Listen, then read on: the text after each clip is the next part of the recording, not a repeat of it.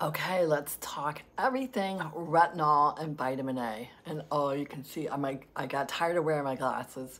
So, um, retinol is a form of vitamin A.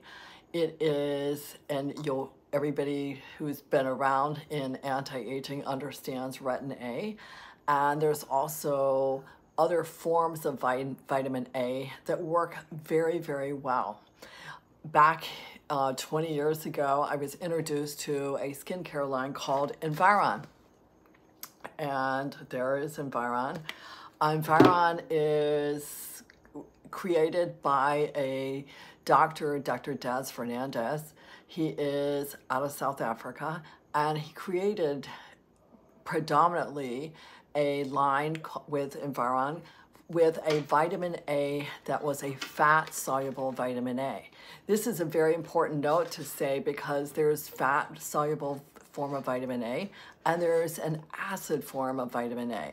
The acid form of vitamin A will help to thin the skin. This is your retin A, whereas the fat soluble form of vitamin A goes into the skin to the lower dermis layers and will help to thicken the skin, helping you look younger and aging not quite as fast because the, it's not thinning the skin.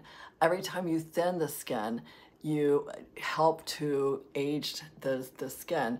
And that doesn't matter, uh, like if you do peels, if you do retin A, it's all thinning the skin. Will you look younger like soon? Yes, but what happens is the skin isn't able to function as well as it could because it doesn't have the mattress pad that it, it needs, the function of the, the collagen, the elasti, elastin. So it is so thin that it's not quite functioning properly because it doesn't have all those layers. So the thicker the skin, the better.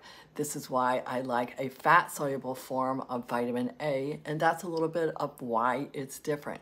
Fat soluble form of vitamin A, again, it dissolves into the cell and it helps to change the DNA. The retin A is an acid form, so there's retinol palmitate.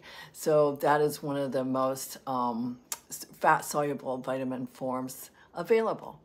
And that's it on the differences between a retin A and a fat-soluble, an acid form of vitamin A and a fat-soluble. One absorbs, one doesn't.